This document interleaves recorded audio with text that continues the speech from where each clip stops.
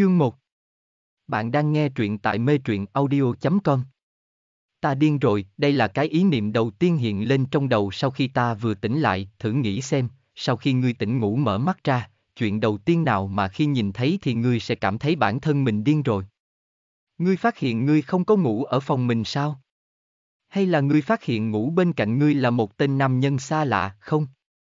Cũng không phải, đúng như các ngươi nghĩ, ta không có ngủ trên đường cái, bên cạnh cũng không có tên nam nhân xa lạ nào ngủ cùng.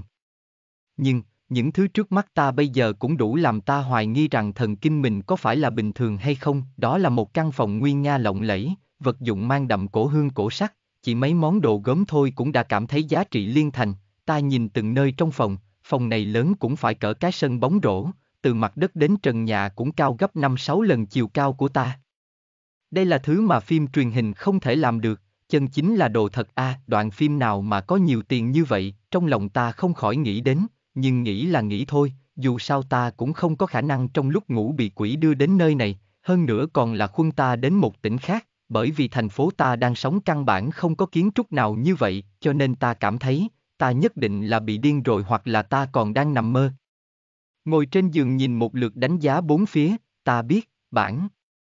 Thân ta lúc này, bất luận ánh mắt, động tác hay là thần thái đều có vẻ cực kỳ bất lực, lúc này, ta đột nhiên nghe thấy một thanh âm chi nha vang lên, ngay sau đó một vài tia sáng xuyên qua bình phong chiếu rọi ở xuống sàn nhà.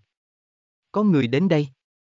Trên bình phong lập tức hiện ra một đạo bóng đen, lại vang lên, chi nha, một tiếng, ánh sáng liền không thấy nữa, là ai đến, và chỉ vài giây sau ta liền cùng nàng đối mặt, ta nghi hoặc nhìn nàng, nàng lăng ngốc nhìn ta, là một cái nha đầu, có vẻ mới 17-18 tuổi, nha đầu kia nhìn thực non nớt, diện mạo thanh tú động lòng người, nàng mặc một loại quần áo.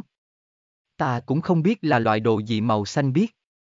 Tóm lại, nhìn tới nhìn lui cũng không phải là người xấu, đang định nói, xin chào thì nha đầu kia lại đột nhiên ta, một tiếng, hét ầm lên, ta giật thót, bị dọa không nhẹ, nàng hấp tấp đặt cái khay đang cầm xuống bàn sau đó liền chạy đến chỗ ta, nàng quan sát đánh giá từ trên xuống dưới một phen rồi mới nói. Phò mã gia, ngài tỉnh rồi sao? Phò mã gia tỉnh rồi. Người đâu, mau tới a, phò mã gia tỉnh rồi. Cái này đâu phải là gọi người đến. Đó chính xác là trống, trống to a, nàng một đường chạy ra khỏi phòng, dường như là lại đang đứng ở trong viện.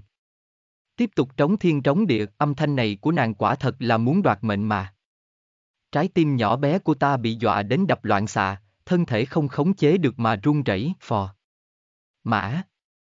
Dạ, nếu ta nhớ không lầm, cái danh xưng này. Nên là dành cho nam tử chứ, ha. Ta bối rối cười, thật sự là không thể nói lý.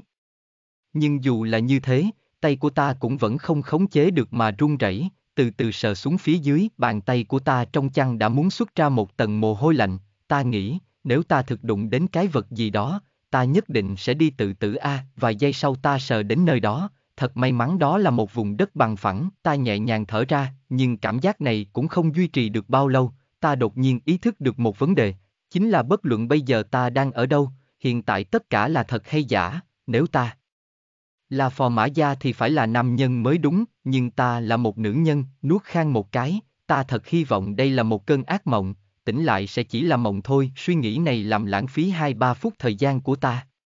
Lúc này, ngoài cửa cũng vang lên nho nhỏ tiếng bước chân, nghe kỹ thì có ít nhất hai ba người đang hướng đến phòng ta mà đi, không lâu sau lại có vài người xuất hiện ở trước mặt ta, một lão nhân mang theo một cái rương. Là thầy thuốc. Một nam nhân trung niên, quần áo thượng đẳng, nhìn cái khí thế kia chắc là đầu lĩnh. Một người nữa là cái nha đầu lúc nãy, đứng bên cạnh nàng còn có một nha đầu so với nàng có lẽ lớn tuổi hơn một chút, mặc quần áo màu hồng nhạt, ta càng thêm lúng túng ngồi dậy, các ngươi. Là ai? Cổ họng ta cảm thấy nóng rát, cảm giác thanh âm đều thay đổi, lời này vừa thốt lên, mấy người còn lại liền đưa mắt nhìn nhau, gia, ngài không biết chúng ta sao? Người nhìn như là đầu lĩnh dò hỏi trước, ta thản nhiên lắc đầu, chỉ thấy hắn nhíu mày, sau đó quay sang nói nhỏ với nha đầu mặc y phục màu hồng nhạt bên cạnh. Đi tìm công chúa, nói rõ tình huống ở đây cho ngài. Nha đầu kia nhìn vị đầu lĩnh, cuốn cuồng gật đầu sau đó chạy đi nhanh như chớp. Ánh mắt vị đầu lĩnh đồng thời chuyển hướng thầy thuốc trách mắng. Ngươi còn đứng đó làm gì? Còn không mau chóng đi bắt mạch cho phò mã gia xem là đã xảy ra chuyện gì.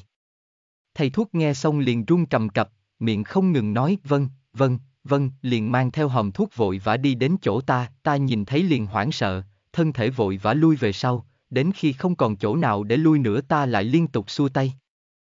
Ngươi đừng lại đây a, đừng đến đây.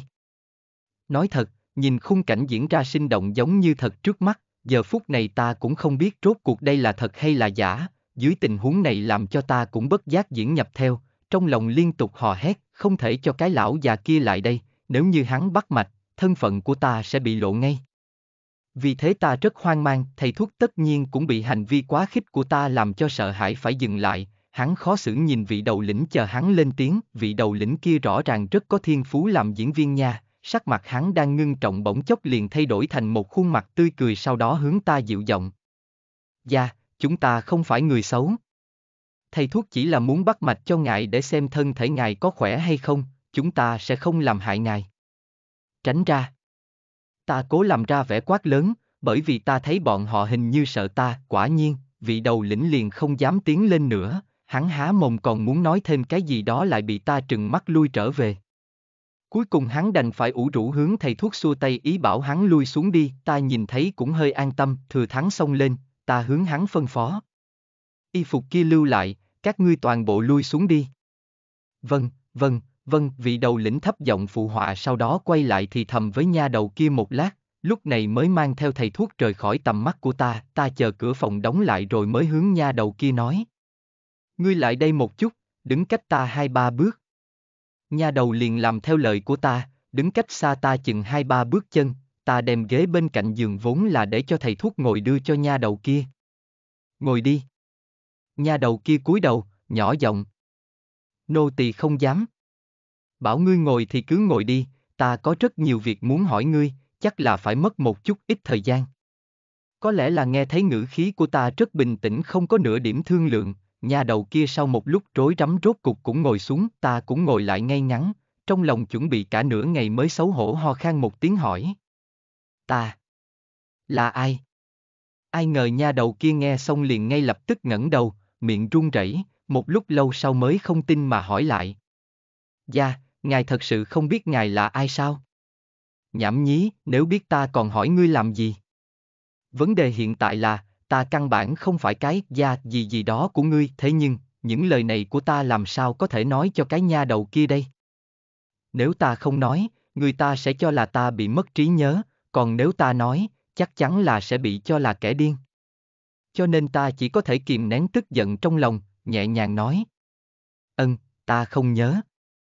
Một màn hài kịch cứ như vậy diễn ra, thế nhưng ta vạn lần không nghĩ đến, nhà đầu kia sau khi nghe xong lời của ta lại bỗng dưng thúc tha thúc thích khóc lên, cái này làm ta đơ ra như bị sét đánh, từ nhỏ đến lớn, muốn chém muốn giết ta đều có thể tiếp hết, chỉ là ta không thể chịu nổi cái cảnh một khóc hai nháo ba thắt cổ này.